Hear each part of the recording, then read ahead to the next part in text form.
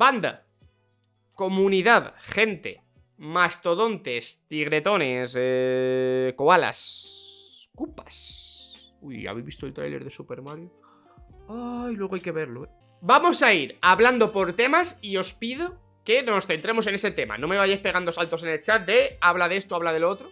Nos centramos en cada tema y vamos avanzando, ¿vale? Vamos a empezar por lo que para mí fue la gran sorpresa. Que es, y no sé vosotros qué pensáis, que la carrera arrancara como si nada. Yo estaba flipando. O sea, yo cuando veo que se acercan las 7 de la mañana y no sale un anuncio de en 15 minutos tomamos una decisión. En 30 minutos tomamos una decisión. No, no. Sale la muchacha. Canta el himno, lo canta muy bien. El himno de Japón es muy malo, lo siento. Mira que tienen canciones buenas los japoneses. El himno es malísimo. Sale, canta muy bien, a capela, tal. Lo cantó muy bien, pero es que el himno no vale para nada, el himno de Japón. Es terrible. Canta, tal. Y yo, hostia, que no lo van a retrasar esto. Que no lo van a retrasar, que no lo van a retrasar. Yo creo que los equipos piensan, ok, si no lo van a retrasar, es que esto lo ven para intermedios, porque generalmente con full wet no nos van a dejar salir en parado nunca. Y todos deciden apostar por, por intermedios, ¿vale? La pista no estaba para intermedios ni de puta coña. Lo que pasa es que yo creo que todos los equipos piensan en... No estará tan mojado si realmente nos van a dejar salir en parado. ¿Vale? Fue una cosa como extraña. Moló porque dices, hostia, qué guapa la fórmula tal. Pero probablemente era uno de los días en los que creo que más hubiéramos entendido todos los aficionados que mínimo hubiera habido un retraso en ese momento, ¿eh? luego lo hubo, o que se hubiera salido otra safety car. O sea, me sorprendió un poco, me agradó, me agradó, pero fue, muy raro. Yo no, no, sé, me sorprendió como que, que estaba lloviendo mucho, evidentemente, y hemos vivido situaciones este año en las que con mucha menos lluvia no se ha celebrado una salida, y sin embargo aquí sí. Entonces, por esa parte, guay, contentos, a, a tope, al final, bueno, son pilotos y saben llevar coches con, con agua. Pero es cierto, y esto no... No quiero también que parece que ahora critico a la FIA por todo, ¿no? Pero en la vuelta de formación, que creo que es un buen momento en la vuelta de formación, para decidir, incluso ahí, oye, vamos a atrasar esto. En la vuelta de formación, no sé si os fijasteis en la salida, vivimos en la era del HD, ¿vale? Mínimo del HD y muchos tendréis vuestro 4K en vuestro televisor, ¿vale? En la salida de la vuelta de formación, en la salida solo se veían cuatro coches. Los cuatro primeros. La cortina de agua era tal... Era tal que solo se veían los cuatro primeros coches. En la era del HD. o sea... Fue una cosa. Yo vi esa, yo vi esa de vuelta a formación y dije, espectacular. Se ven cuatro coches de 20. Bueno, de 19, porque Gasly salía desde, desde el pit lane. Increíble. Y yo dije, ¿van a dejar de dar la salida? Efectivamente, dejaron. Y la salida fue... Fue apotósica. Vaya, fue, fue apotósica el héroe de la salida Lance Stroll. Porque yo qué sé, porque tiene que pasar de todo, ¿vale? No, creo que no llevo ningún coche a trompear, me parece, no son en la salida, pero... Lance Stroll aprovecha el carril seco de mm, pegado al pit lane y tal para adelantar coches, pero como si estuviera saliendo en el F1 2000, 2022. ¿Vete el trompeo en la vuelta de formación? No lo vi, no lo vi. Hostia, pues no, lo vi. Eh, tal. Y luego en la salida, o sea, en esta salida, aparte de la salida de Stroll, Vettel se toca con Fernando. Muy poético, por cierto, que Vettel se toque con Fernando Alonso. Incidente puro de salida, vaya. De hecho, hasta más culpa de Vettel, si me preguntas a mí. Porque Alonso no, no puede meterse más al interior en esa curva. Eh, es poético que luego acabaran tan juntitos, ¿eh? La, carrera, a pesar de, todo. Pero bueno. Eh, golpe de. Golpe de Vettel. Bueno, golpe no, se sale por la hierba y ya está. Albon rompe motor, que ya mala suerte que una carrera con tanta locura y tal, tú tengas un abandono de fiabilidad, ¿vale? Rompe el coche en condiciones, estámpate contra el muro, no, no te quedes a medias. Y a la salida de la horquilla, a la salida de la horquilla, a la salida de la horquilla, empezó el lío, ¿vale? Empezó el lío. Sainz pilla aquaplaning, además se ve que, o sea, se ve que Error de conducción, sí, bueno, todos pasaron por allí, no pasó nada, pero se va contra el muro. Da igual, se va contra el muro, se da horquilla, pierde el control del coche, golpe nada del otro mundo, pero como se lo da con el alerón trasero en lugar del alerón delantero, pues tiene que abandonar, ¿no? Ese típico golpe se lo da con el alerón delantero, puede volver a pista y cambiar el alerón delantero y a funcionar, y sigue corriendo. Pero, como fuera el alerón trasero, pues evidentemente eh, destrozó el coche, vaya, y, ya está. Esa zona es muy estrecha de Suzuka, esa, especie de falsa recta es súper estrecha en Suzuka. Y el coche se queda con el morro un poquito metido dentro y además la valla de publicidad contra la que impacta Carlos Sainz cae a pista. ¿Vale? Muchos coches pasan por encima de esa valla de publicidad. Que no pasa nada, porque no deja de ser un trozo de plástico. Bueno, podría pasar muchas cosas, pero por suerte no pasa nada. Y los coches no pasan por encima de la valla porque digan, jaja, una valla, voy a pisarla, me da puntos. Pasan porque no se ve ni frosties, ¿vale? Y van a full. Y van a full. Aparte, evidentemente, muchos coches, como decís por aquí, pasan muy, muy, muy cerca del propio, del propio Carlos Sainz. Pero bueno, eh, aquí de manera más o menos rápida, todo hay que decirlo, la dirección de carrera saca, eh, pues eso, safety car, ¿no? Para, para tal. Se olvidaron de alguien. Se olvidaron de alguien.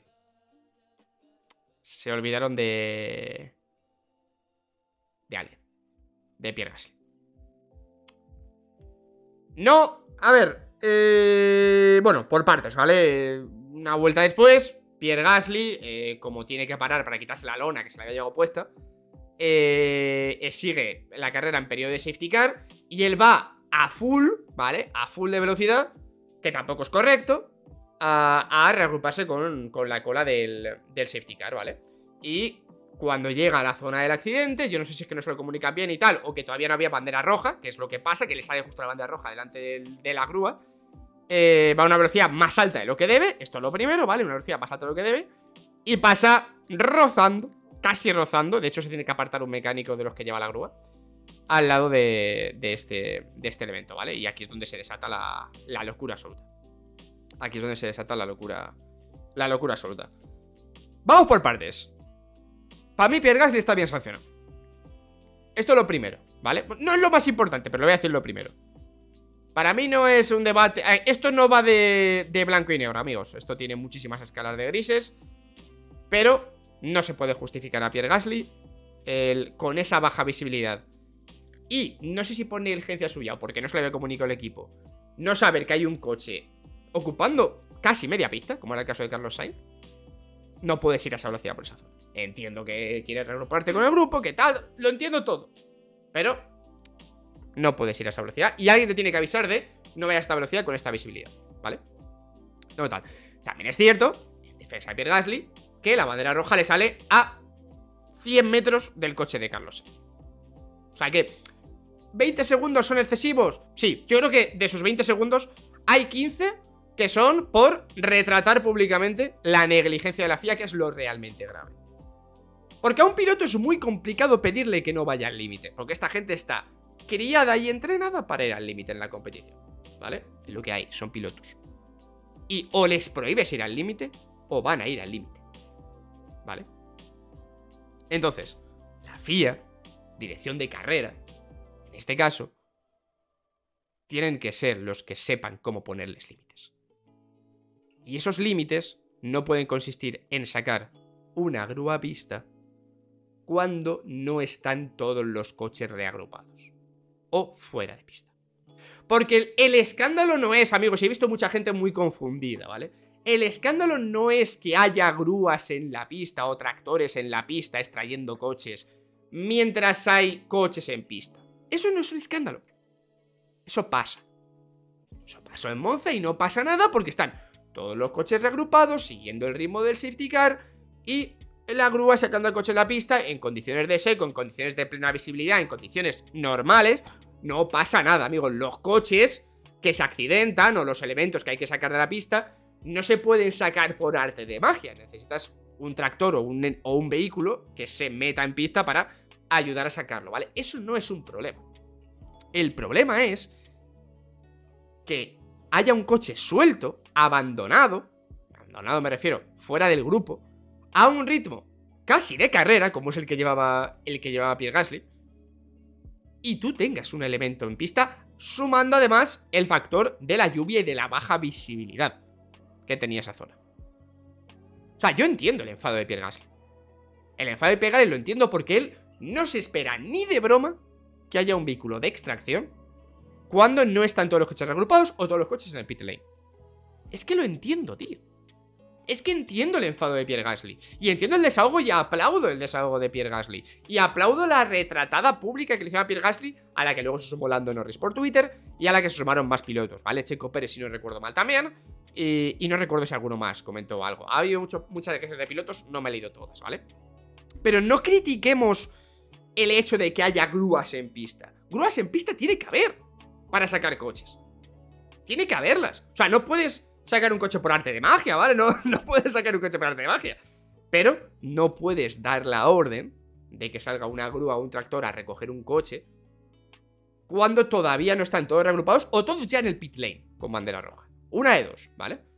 No es un escándalo que esté la... que haya una grúa recogiendo un coche. Si están todos reagrupados en un safety car, oye, no pasa nada. En, en Monza no pasó literalmente nada. Más allá de la vergüenza que fue acabar esa carrera bajo, bajo safety car. Pero eso es otro tema. Pero, no. Apuntemos bien el tiro. El problema es que dirección de carrera se olvidó por completo que Pierre Gasly no estaba en el grupo. Pierre Gasly no estaba en el grupo. Se les olvidó por completo. Por completo. Porque si no, no hacen eso. Y yo lo siento, no me creo, ¿vale? Como probablemente busque la FIA justificar esto, porque por supuesto la FIA no va, no va a disculparse con nadie, al menos de manera pública. A lo mejor de manera privada ha calmado a los pilotos y se ha pedido perdón o tal. Eso es posible que haya pasado, de manera privada. De manera pública no lo van a hacer, porque es un organismo que nunca va a reconocer un error y es el que más tiene. Pero... No me creo, lo siento, no me voy a creer. Y creo que es una posibilidad como que se planteaba por redes sociales y yo, mira, ¿estamos tontos o qué está pasando? Yo no me creo que el conductor de la grúa o del tractor viera a Carlos Sainz contra el muro y dijera Estuviera así con el cigarrillo, ¿eh? Con un cigarro. El, conductor japonés de tractor y dijo: No te preocupes, chaval, salgo yo, a por ti. Chaval, chaval, no te preocupes. Pon el punto muerto, que voy a por ti. No me lo creo. No me lo creo. Esa gente actúa cuando les mandan que actúen. Porque un conductor de una grúa, de un tractor, no decide por su propio corazoncito meterse a pista a liarla. No lo hace. ¿Vale? Así que no, no me lo creo. No me lo creo. Esa grúa salió a pista por orden de... No sé exactamente de quién, pero por orden de alguien. Desde luego no salió por voluntad propia. Así que no personalizamos esto como un error personal de... Eh, del, del hombre del conductor de la grúa, del comisario. No, ¿vale? Ese hombre salió a pista por la orden de, de alguien. A mí me parece, eh, por suerte esto no quedó en nada, ¿vale? Y tampoco me gusta, y esto me ha sentado un poco mal, la cantidad de dramatismo que he visto por redes sociales, ¿vale? Creo que hay peña que le gusta más el morbo de lo que debería, y creo que hay peña que os juro que parece que está deseando que volviera a pasar lo de Just Bianchi. O sea, parece que hay peña que le jodió ayer que Gasly no fuera de frente contra la grúa, porque he leído de cada cafrada y he visto de cada tremenda basura. Tremenda basura. En TikTok o sea, hay peña que hace cosas de Fórmula 1 en TikTok, ¿vale? Que, oye, eh, son buenos, ¿vale? Algunos me salen de vez en cuando y tal. Personalmente no sigo casi nadie en TikTok, o sea, quiero decir, me van saliendo y ya está. Pero he visto de cada basura de peña comparando la grúa de Gasly con la grúa eh, de, de Bianchi haciendo cambios de planos así como... Chico, eres muy desagradable. Eres muy desagradable, eres muy tonto y no entiendes la gravedad de lo que estás haciendo. Estás hablando de una persona que falleció por una negligencia. ¿vale? Que entiendo la comparación, la entiendo, entiendo él, hostia, aquí también ha pasado esto tal, pero no está ni remotamente cerca, por suerte, ¿vale? No todo vale para ganar clics, no todo vale. O sea, en serio, no todo vale por rascar clics, tío, no todo vale, no todo vale, de verdad. No todo vale, porque por suerte no pasó nada Y yo entiendo que el padre de Bianchi tuiteara la imagen y dijera, parece que no hemos aprendido nada Yo entiendo que el padre de Bianchi desde el dolor hable de eso, porque coño es el padre de Bianchi Y entiendo que si has perdido a tu hijo por una negligencia relativamente similar lo quieras denunciar en redes sociales. Pero chicos, si te llamas Pedro y tienes 14 años y quieres hacerte viral, no todo vale por TikTok, ¿vale? No todo vale. Sea, de verdad, no todo vale. Hay de cada mierda de esa red social. Y mira que tiene cosas que están bien, que no soy el típico boomer que me gusta criticar a TikTok por tal. No, hay cosas que están bien, coño, sobre todo lo que subo yo, ¿no? De vez en cuando, pero. De verdad, en serio. Eh, no todo vale, ¿vale? No, no todo vale. No todo, no todo vale, perdón. Tengo una mosca por aquí que está. que está. que está molestando.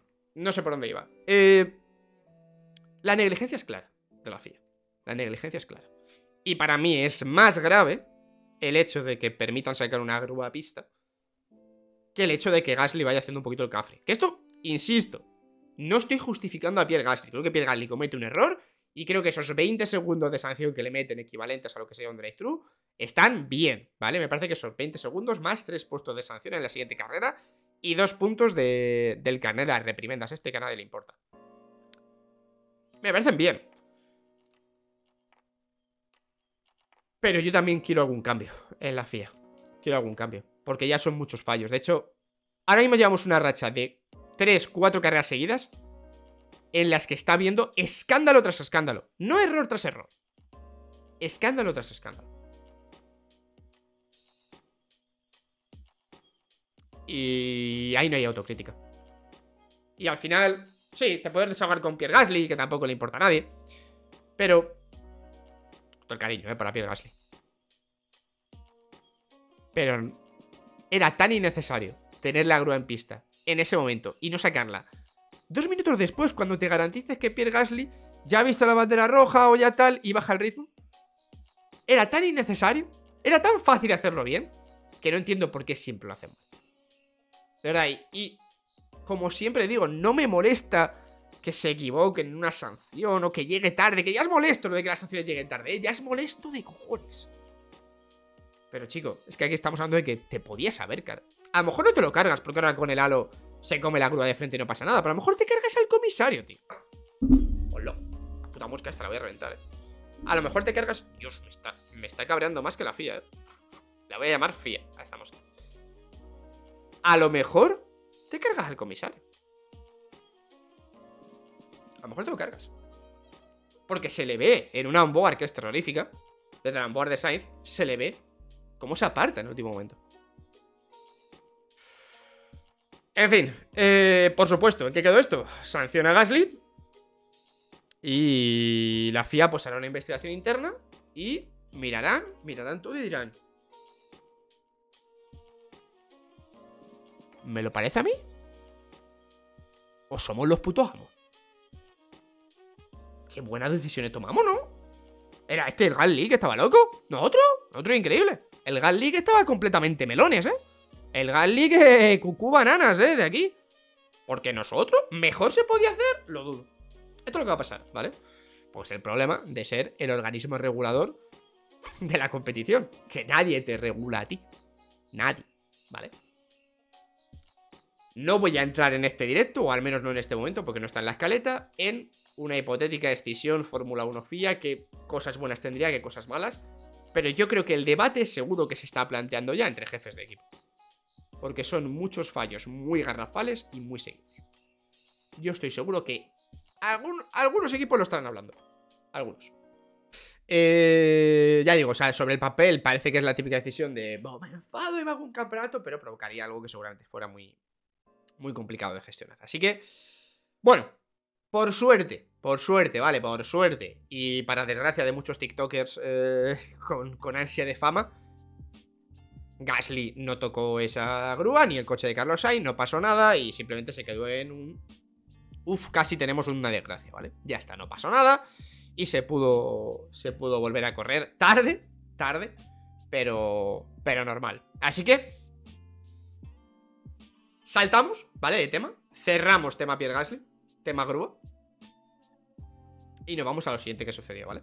Cambiamos de topic. Las dos horas de retraso que vinieron después. No los voy a criticar mucho. No, esto igual os sorprende, pero no voy a criticarlo mucho. Sí que creo que... O sea, no entiendo el amago de resalida y de ni siquiera probar una vuelta de formación tras el safety car. Aunque luego puedas volver a sacar otra bandera roja. No entendí lo de a falta de un minuto y medio. Decir, no, al final no.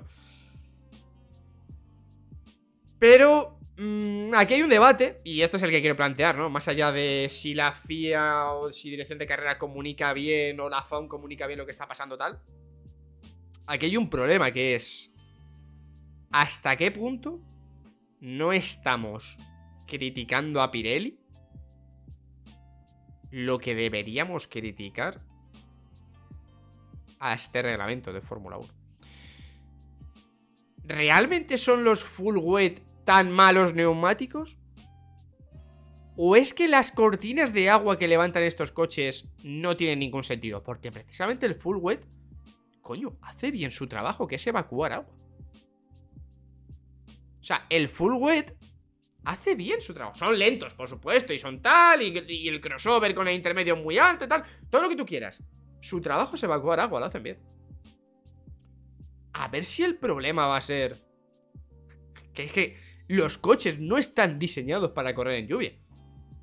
Porque levantan unas cortinas de agua que no tienen ningún sentido. A ver si va a ser eso. ¿No? O sea, de verdad que os lo pregunto porque yo no lo sé. Yo no lo sé. Yo, yo no lo sé, de verdad. No, no sé a qué achacar más la responsabilidad. Si a Pirelli que no digo que sea totalmente inocente en esto, o a que este reglamento se diseñó sin pensar en carreras en lluvia. O sea, porque realmente problemas de agarre de coches, o sea, tampoco es que con los full wet o con los intermedios de Pirelli veamos muchos coches perder el control. Quiero decir, no es que veamos un trompo cada dos curvas con estos neumáticos. O sea, el agarre, la función del agarre la cumplen bien y la de evacuar agua la cumplen bien. El problema es que igual, pues evacuan demasiada agua o la cortina de agua es tal. Es que insisto, en la salida de la vuelta de formación, no, ni la salida de verdad. Las cortinas de agua hicieron que solo se vieran cuatro coches de 20. 4 de 20, tío. Entonces, eh, igual este reglamento... Es que igual con este reglamento, por triste que suene, no se puede correr con lluvia. Y a lo mejor... Y esto es duro, pero a lo mejor hay que... Cuando yo una carrera... A lo mejor hay que empezar a cancelarla, macho. Y a mí me jodería un huevo, ¿eh? Pero a lo mejor este reglamento no se ha pensado para esto. No se ha pensado. O con tanta lluvia. O sea, a lo mejor hay un límite de lluvia con el que no se puede correr en Fórmula 1. Es que se corría hace 30 años. Ya, bueno, pues ahora no. No, digo que quiera esto, ¿eh? No digo que quiera esto, pero que... Es que igual estamos pidiendo cosas a Pirelli que no son responsabilidad de Pirelli. Es que igual los full wet sí trabajan bien. Y los intermedios sí trabajan bien. Es que igual el problema son los coches que levantan unas cortinas de agua que no tienen ningún sentido. Que luego por suerte secan muy rápido la pista, ¿eh? A la vez que pasan también es verdad. Pero es que igual tenemos que asumir que, esta Fórmula 1 no está hecha para correr en lluvia. Que cuando se diseñó este reglamento no se pensó en la lluvia como posible. No lo sé, yo no quiero pensarlo, ¿eh? Pero creo que el debate es interesante y lo debería tener la gente que, que entiende realmente de esto.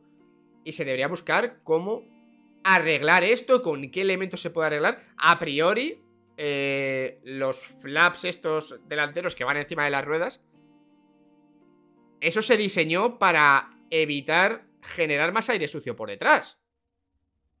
¿No? Para evitar eh, eh, esquivar el aire sucio y tal. A lo mejor hay que meter un sistema parecido para evitar levantar tanto agua. O a lo mejor los neumáticos de lluvia no deben ser tan anchos como los de seco. Pero claro, entonces tienes que cambiar el concepto del coche. Es que es muy complicado. Es, es muy complicado, es muy complicado. Pero bueno, al final los equipos lo que siempre suelen hacer es buscar quitárselos cuanto antes y poner los, los intermedios, ¿no? Que son los que sí parece que, que funcionan bien. ¿No guardabarros? Pues a lo mejor alguna especie de guardabarros. Es una, es una opción. A lo, a lo mejor es, a lo mejor los guardabarros son una opción, desde luego. Bueno. Tema de full wet y tema de, de tal. Me encantaría entender más de, aerodinámica de este tipo de temas. Yo lo que veo es que aquí el problema mayor de, de, la Fórmula 1 con lluvia no es la conductibilidad, el manejo del coche, el agarre a la pista, sino el hecho de que se pueda competir porque las cortinas de agua son tan amplias que impiden por completo la visibilidad. Vale, creo que el problema está ahí. Entonces, un coche de Fórmula 1 actual con unas full weight corriendo solo puede rodar perfectamente con mucha lluvia, pero el problema es que no corre uno o dos, corren 20. Vale. Pues yo, ¿cuál es mi opinión? No, ¿cuál es mi opinión? No, ¿cuál es el hecho? Que esto de los problemas de la Fórmula 1 con lluvia, con lluvia no es de este año. Es de hace años ya. Especialmente desde 2017 que entraron que entró la nueva normativa de neumáticos. Entonces, creo que va a cambiar concretamente nada, ¿vale? O sea que la FIA no va a hacer nada y van a ir llorando y decir, madre mía, es que no hemos hecho nada, no sabemos qué más hacer. Esto va a suceder, ¿vale? ¿Y quién se va a enfadar en internet? Por vosotros, pues ya me enfado yo. No os preocupéis. Estoy mirando la escaleta, ¿vale? Que no sé qué he hecho con ella. Para poder seguir hablando. A ver. Hablamos un pelín de la carrera. Porque todavía no hemos hablado nada de competición. O sea, por ahora solo me he enfadado. O sea, todavía no hemos hablado nada de la carrera, excepto la salida, ¿vale? En fin. Hablemos de, de carrera, ¿vale? De la carrera y de cómo en 40 minutos de carrera, no recuerdo si fueron 40 o 42, eh, disculpadme, cómo en 40 minutos de carrera Verstappen le mete a Leclerc 27 segundos. Evidentemente, con la misma estrategia. Con la misma estrategia parando en la misma vuelta de full wet a intermedios. A Leclerc y a Pérez. Sí, sí, sí. Es que a esto voy. A esto voy. ¿Cómo puede ser? Es que... O sea, ¿de verdad hay 27 segundos de distancia mojado entre Verstappen y Leclerc? Es que... ¿En 40 minutos? Es que no puede ser, tío. Yo no quiero creerme esto. Entiendo que Ferrari tiene un problema y muy grave este año, más allá que en estrategia, que es un fallo que han tenido y que es muy criticable. Los fallos de estrategia de Ferrari este año también se han debido en parte al gravísimo problema de desgaste neumáticos que tienen. O sea, que en lluvia, en lluvia, que es, digamos, las condiciones de pista que menos te debería importar el estado del neumático. Con que sean intermedios o full wet, mm, prácticamente bien que en lluvia tengas esa degradación respecto a tu rival, tu mayor rival este año que es Red Bull y Verstappen en este caso. Chico, o Verstappen hace magia con los neumáticos, que puede ser. O Ferrari tiene un problema que daba igual las estrategias que hicieran. O sea, son 27 segundos perdidos y es terminar perdiendo la posición con Checo Pérez al final por, por desgaste de neumático. Yo puedo entender que eh, Checo no tenía el ritmo de Leclerc, pero claro, cuando Leclerc empieza a caer, ya, va por él. Ya va por él. Entonces, el duelo que tuvieron fue súper bonito, el de Leclerc y Pérez, por cierto, súper bonito y, y bastante limpio, la verdad. Eh, me, gustó, creo que pelearon como, como dos buenos pilotos. Y en la última chicane, yo creo que Leclerc, que pues busca eh, frenar lo más tarde posible para que no se le tire Pérez, se equivoca, se pasa de frenada, se tiene que cortar la chicane y al reincorporar esa pista, evidentemente intenta taponar de más a, Pérez. Y son 5 segundos de, absoluto manual, vaya. O sea, creo que es. Creo que es la sanción de 5 segundos menos discutible de, de la historia, vaya. Es. Es absolutamente. Absolutamente indiscutible. Pero es un poco. Jodido ver cómo Verstappen ganó con tantísima distancia, tío. Es que fue mucha distancia que fue demasiado. No puede ser solo manos, tío. Quiero creer que no son solo manos, porque si son solo manos, tenemos campeón del mundo durante los próximos 20 años. Como Red Bull no se equivoque de concepto.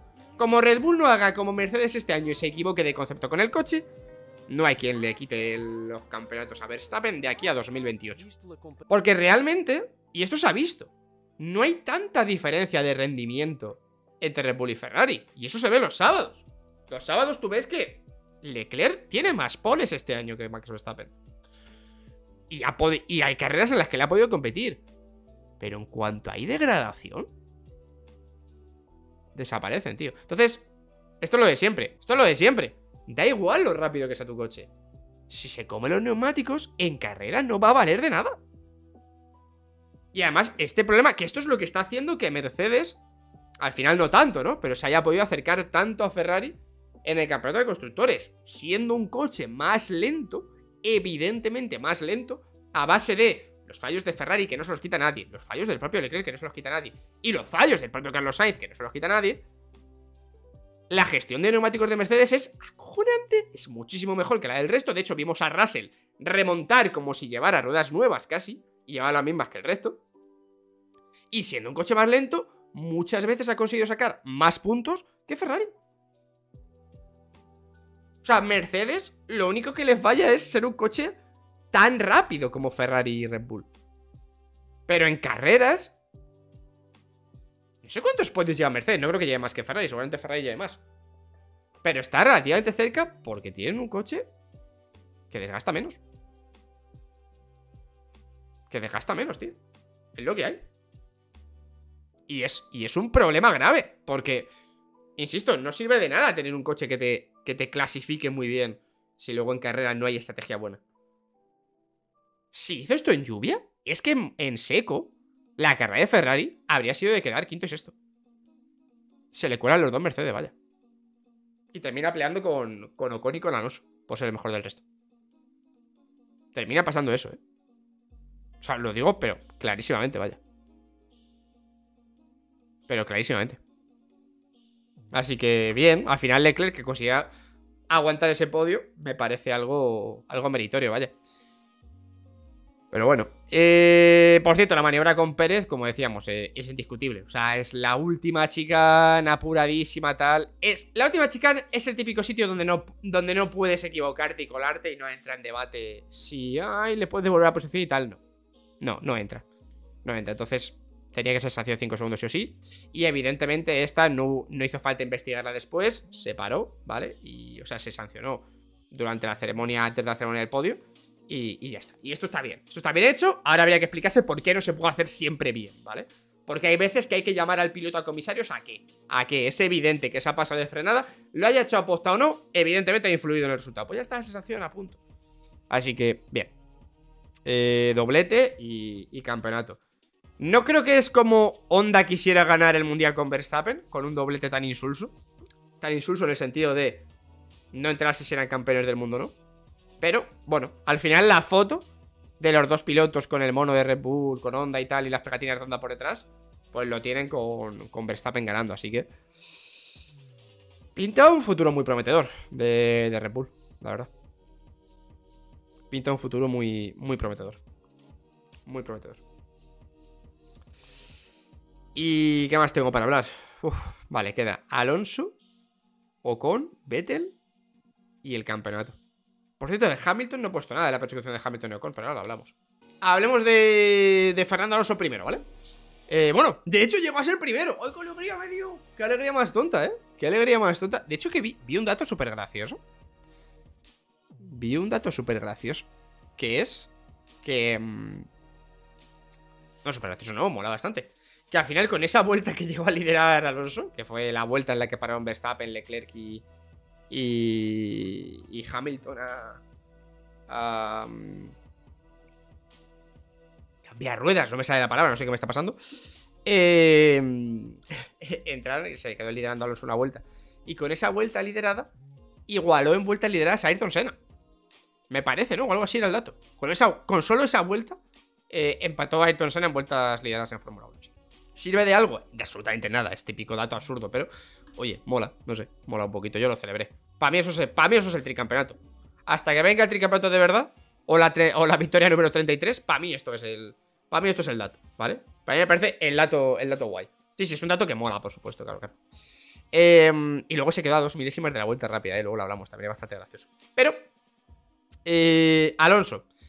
No, no diría que fue una brillante carrera de Fernando Alonso. De hecho, la salida no es especialmente buena, que es donde suele destacar, pero la salida no es especialmente buena. Eh, tampoco consigue cuando le tira el coche a Hamilton en la horquilla en la vuelta 1 antes del accidente de, de Carlos Sainz. Hamilton le recupera posición, ¿vale? Entonces, mm, no, no es, digamos que no fue la mejor carrera de Fernando Alonso, pero aún así acertaron tanto el equipo como él, porque imagino que también sería idea suya, la de parar a falta de 8 minutos para el final o 7, que todos pensamos, todos, y cuando digo todos, todos, pensamos en, ¿no va un poco tarde va a parar? Bueno, fue bastante bien para conservar al menos esa sexta plaza porque se estaba acercando muchísimo eh, por detrás. Eh, esa séptima plaza, perdón. Se está acercando mucho por detrás eh, Russell, que por lo que sea tenía un ritmo superior al resto con la misma vuelta de intermedio. Y lo que hace es parar, ir 4 segundos más rápido que el resto, porque unos neumáticos intermedios nuevos pues dan eso también, ¿vale? Que evidentemente nada se... O sea, no hay nada que decir malo de la conducción de Fernando Alonso. De hecho, la habilidad con la que se quita del medio a Latifi, a Norris en la 130R y a y a, y a Russell está, o sea, quiero decir que está, está muy bien, es espectacular. Y luego se queda entrando por línea de meta con... Con... Con, con Vettel a 11 milésimas. 11 milésimas, tío. 11 milésimas. O sea, una entrada meta, que por supuesto no hay retransmisión oficial de la FOM, se ve una como desde la grada y otra desde la Helmet Cam de Fernando Alonso, que es bastante espectacular. Y es. Eh, pura Fórmula 1. O sea, esa chica, esas cuatro curvas. perdón. Esas cuatro curvas entre Fernando Alonso y Sebastián Vettel demuestran por qué normalmente alguien es campeón del mundo. O sea, me refiero. Esas maniobras no la hacen dos tíos que se respetan tanto y con tanta experiencia en la categoría como Fernando Alonso y Vettel y acaban los dos en la grava. O sea, es tan bonito ver cómo se dan el milímetro exacto de espacio para respetar tanto el uno como al otro.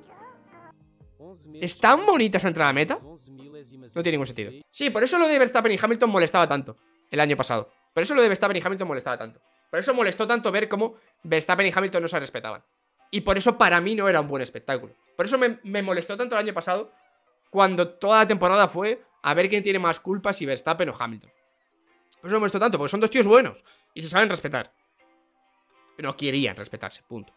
¿Vale? Eso es lo que me jode, porque para mí espectáculo de verdad es cuando dos pilotos se respetan. Que luego se puede, puede haber contactos y pueden tener errores y pueden tener tal. Pero cuando dos pilotos se respetan se ve auténtico espectáculo. Y para mí, esas maniobras entre Vettel y Alonso, aun siendo por una sexta posición en Suzuka que no le importa a nadie, es más bonita que eh, cuando Verstappen y Hamilton acaban uno encima de otro en Monza. En la chicane, en la primera chicane. Para mí, para mí. Para mí. Pero bueno. En fin, y que nadie dude que este año los duelos que hemos visto entre Verstappen y Hamilton, que los ha habido, han sido mucho más respetuosos. ¿Por qué? Porque no está la tensión del campeonato. Si es que esto es lo que hay. Pero bueno. Eh, vi la felicitación de Hamilton a Max Verstappen y me parece muy bien, vaya, lo que tiene que hacer. En fin, que, bien Alonso, bien Alonso. Muy bien Vettel, para mí Vettel, de hecho creo que lo fue el hombre de la carrera. Eh, este es el Vettel que... Yo es que viendo este Vettel me da mucha rabia que, se, quiera, que se quiera retirar, la verdad. Me, da muchísima rabia.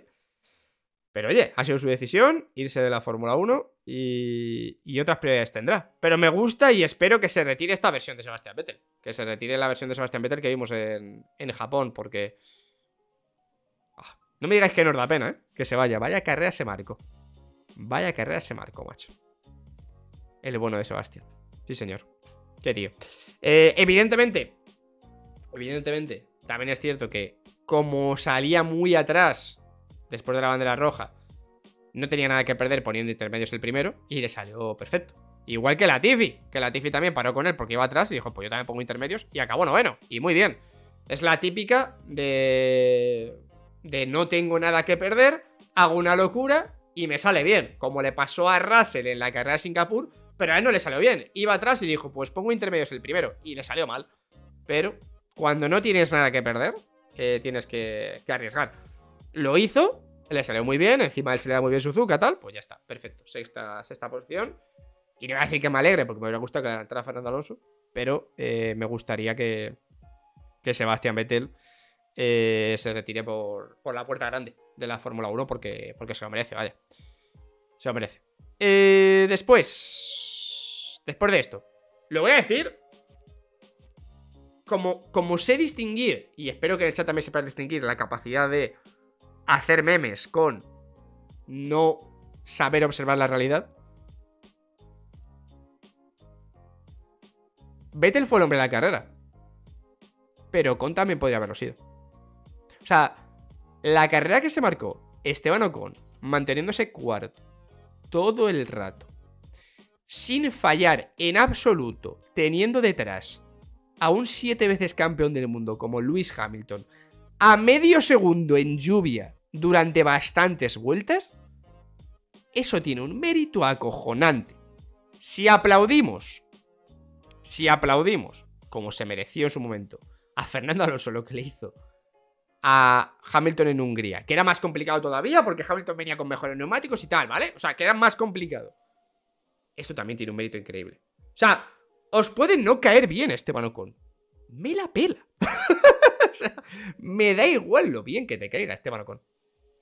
Es indiscutible que ese chico es buenísimo, es muy bueno. Y que por eso tiene tanto mérito que Alonso lo está haciendo mejor que él este año. Porque el compañero es bueno. El compañero es bueno. El compañero es muy bueno. ¿Qué es lo bueno de Fernando Alonso? Que está siendo mejor que un compañero que es muy bueno. Muy tonto a veces, pero muy bueno como es Esteban Ocon. Muy bueno, tío. Y yo lo vi y dije, joder, qué bien. Hostia, es que no cometió un fallo, tío. No cometió un fallo. No cometió un fallo. Es lo que hay, es lo que hay. O sea, defendió a Hamilton como si fuera Alonso, vaya. Le defendió increíble. Así que, no, muy bien, muy bien. Y yo me alegré un poco de ver cómo el Alpine en esta recta final eh, está más cerca. Está... Está cerca de darnos una alegría de un podio, ¿eh? Espero que caiga del lado de Fernando Alonso, pero... Yo veo muy plausible que en estas últimas cuatro carreras el podio venga, ¿eh? El nanopodio, ojalá. Pero un podio de Alpine puede caer porque están acabando la temporada muy bien, ¿vale? Muy, muy bien. Muy, muy bien. Así que, joder, mm, desde aquí un aplauso a Esteban Ocon. Porque yo sé distinguir el meme de la realidad. Y es que es muy bueno, tío. Es que es muy, muy bueno. Es que yo no he dicho que lo de... Vamos a ver, vamos a ver. Vamos a ver, ¿en qué momento he dicho yo que Verstappen no tenga mérito y que no sea uno de los hombres de la carrera? Si lo primero que he dicho es que es un abuso, me lo he metido 27 segundos. Estoy diciendo que Ocon fue uno de los hombres de la carrera junto a Vettel. Y junto a Verstappen, lo que pasa es que lo hemos comentado antes, habría llegado tarde, supongo, ¿vale? O sea, no estoy diciendo Ocon lo ha hecho mejor que Verstappen, estoy diciendo que Ocon para mí fue uno de los hombres de la carrera. Para mí. Porque tiene muchísimo mérito con un Alpine. Defender al Mercedes, que evidentemente es el Mercedes del año pasado, pero tiene mérito. Defenderlo durante tantas vueltas en lluvia y no cometer un solo error teniendo a Hamilton detrás. Buscándote todas las trazadas posibles. A mí me parece una cosa con mucho mérito. Y sí, el Mercedes en recta le cuesta todo lo que tú quieras. Russell adelantó bastante. Russell no tuvo tantos problemas para adelantar. Así que es lo que hay. Eh, evidentemente aquí, bienvenidos al canal número uno de aficionados de Esteban Ocon. Eh, de hecho, me compré este llavero de Esteban Ocon, ¿vale? Porque soy muy de Esteban Ocon. Una cosa, mi Esteban Ocon es un piloto que me vuelve absolutamente loco. La verdad, me gusta, me gusta muchísimo.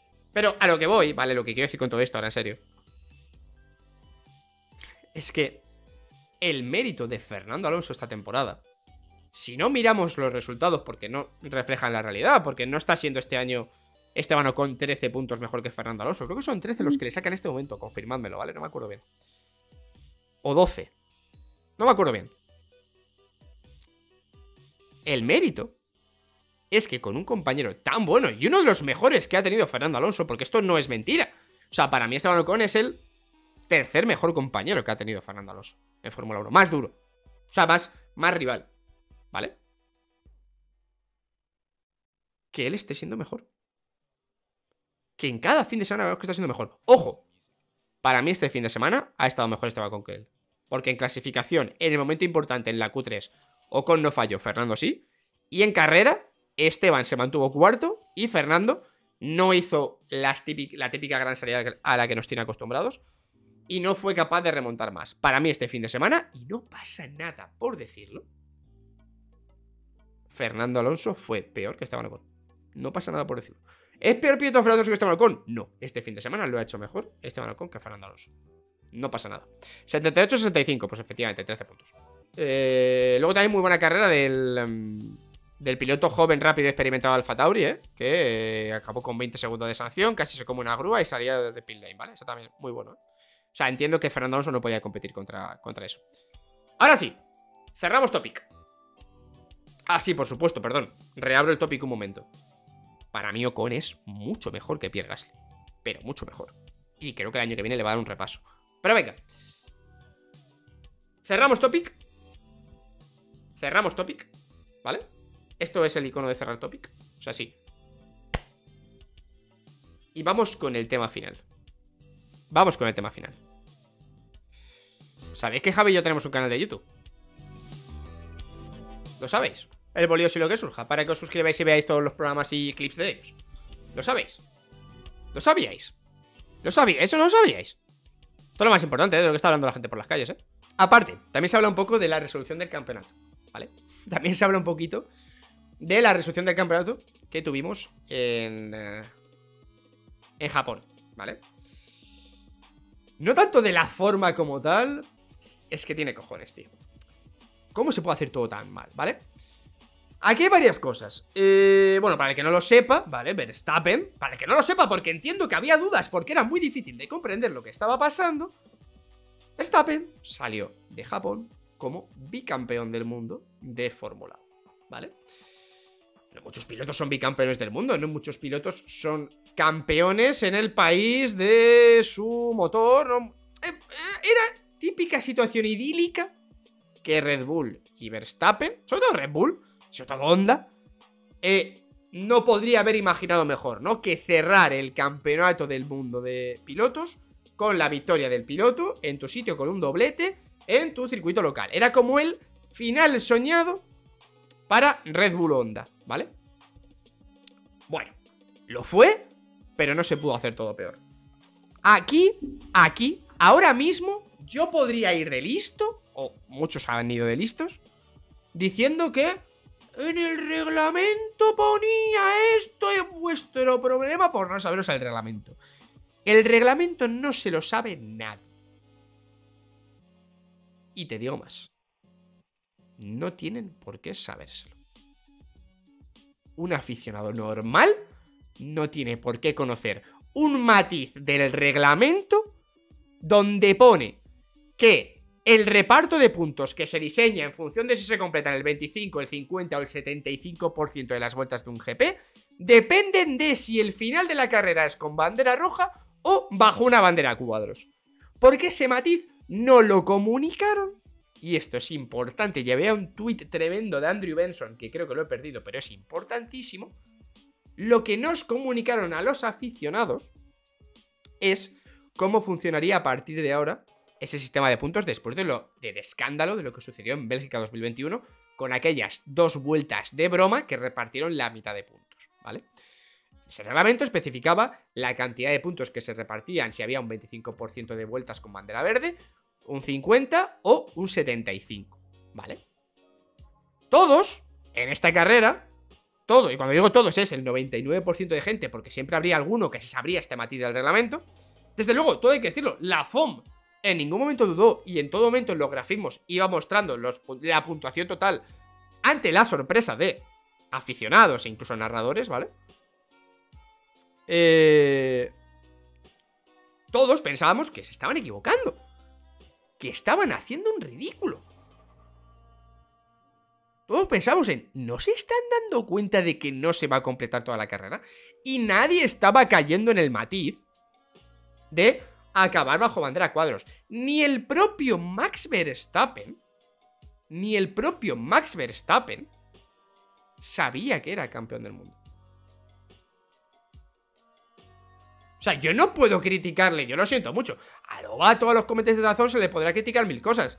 Pero yo no les puedo criticar que dijeran que no entendían nada y que creían que se estaban equivocando desde la Fórmula 1.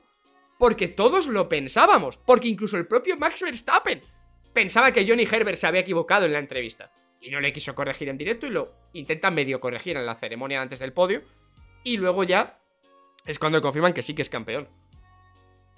Porque no está bien un reglamento en el que tú especificas la cantidad de vueltas que se tiene que completar para conseguir X puntos, ¿vale?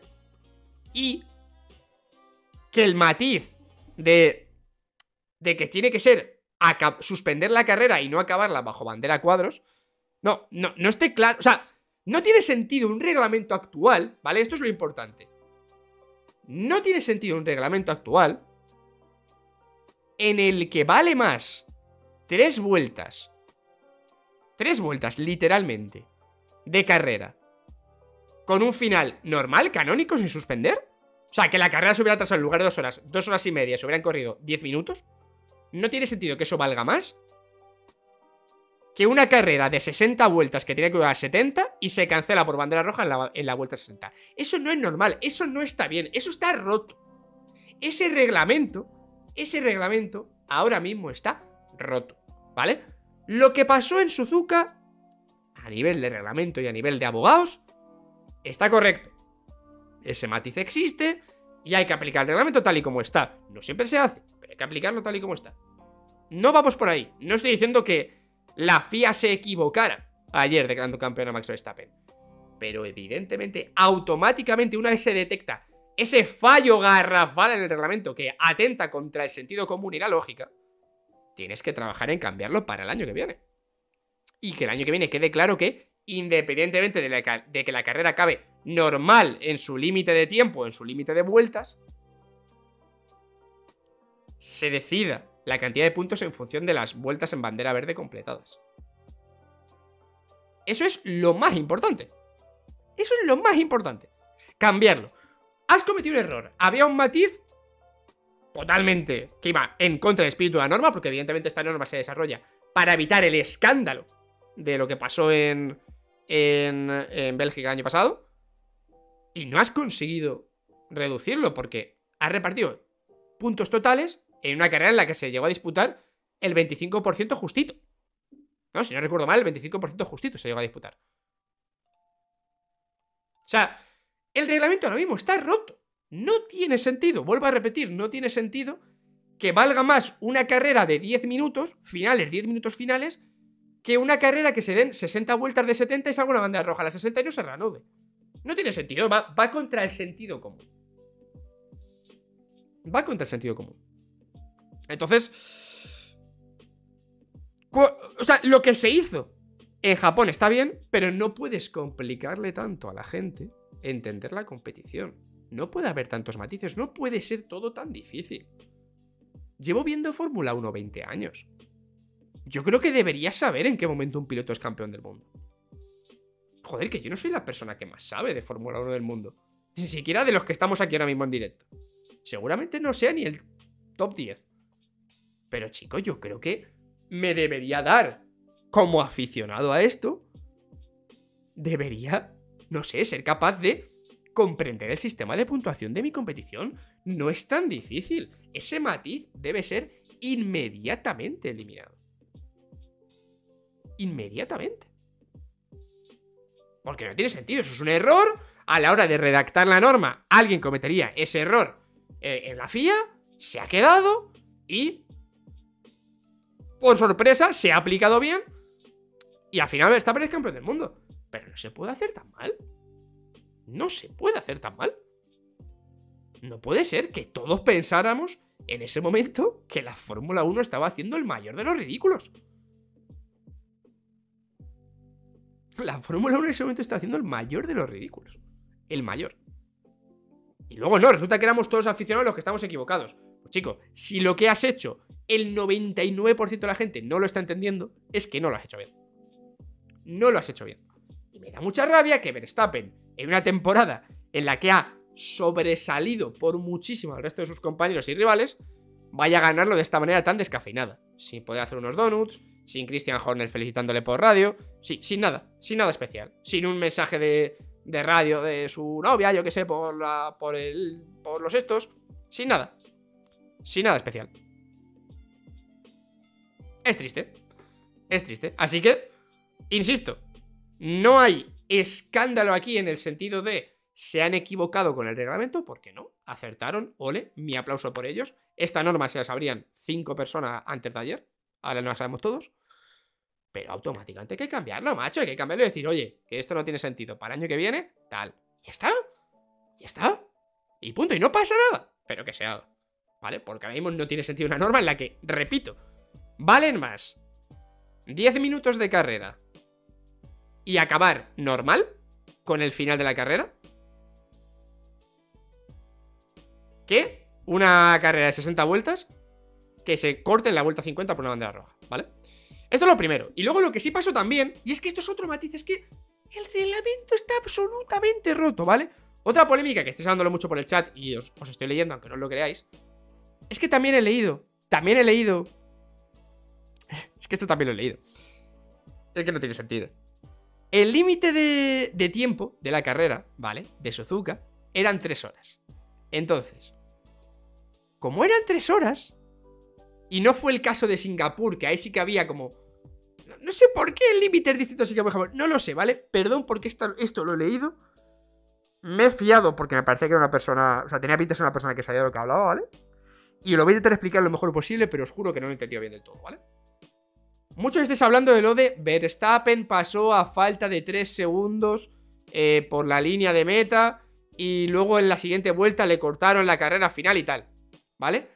Bueno, resulta que según el reglamento eso está bien porque el límite de horas, al ser en lugar de 3 horas, 4 o en lugar de 2 horas, 3 o algo así, no existe el pasas por el cronómetro a cero y se añade una extra lap. Es que la carrera se acaba cuando el líder pasa con el cronómetro a cero. Es decir, que si Verstappen, en esa vuelta en la que pasa por 003, por línea meta, levanta el pie y entra a 000, habría ganado una vuelta antes. ¿Qué sentido tiene esto? Ya lo digo yo, ninguno. Ninguno. No tiene sentido que todo sea tan difícil. Y más cuando venimos de Singapur, donde sí pasó lo de se acaba el tiempo y una extra lap. Es cierto que en el grafismo de carrera nunca puso un extra lap. Siempre puso 000. Pero está roto. El reglamento está roto. No puede ser que todo sea tan difícil. No puede ser tan difícil. Que no puede ser tan difícil. Perdón si no he explicado esto bien, ¿vale? Perdón si no he explicado esto bien, pero es lo que yo he entendido. Entonces, eso está... O sea, las dos cosas están bien aplicadas, tanto el reparto de puntos como eh, lo del cronómetro y la vuelta final, pero está mal hecho porque la mitad de pilotos ni se enteraron que estaba en la última vuelta. Es que la mitad de pilotos ni se enteraron que estaba en la última vuelta. No, no puede ser. No puede ser. No puede ser. Y es triste porque, joder, al final yo no entiendo por qué la Fórmula 1 está creciendo tanto entre la gente joven. Si esto no hay quien lo entienda. Así está la peña de desinformar y soltando tonterías por redes sociales. Porque no se enteran de nada. Pero es normal que no se enteren de nada. Yo es que no puedo criticar a alguien que ha entrado a ver la Fórmula este año y decirle qué pasa que no te enteras de nada. Si no me entero yo, que llevo 20 años viéndolo. No me entero yo que llevo 20 años viéndolo, tío. Es acojonante, macho. Si finalizara el cronómetro a las 2 horas de correr seguido, la regla es que falta una vuelta, como notas con muchas competiciones de coches. Pero al llegar a las 3 horas, la FIA entiende que la vuelta esa no hace falta porque no pone un 3 en el reglamento. Pero no tiene sentido porque eso estoy seguro que Verstappen ni se lo sabía, se lo diría por radio. El resumen es que está todo mal hecho. Y a mí me da pena. Me da pena que la competición que amo no sea capaz ni yo de comprenderla.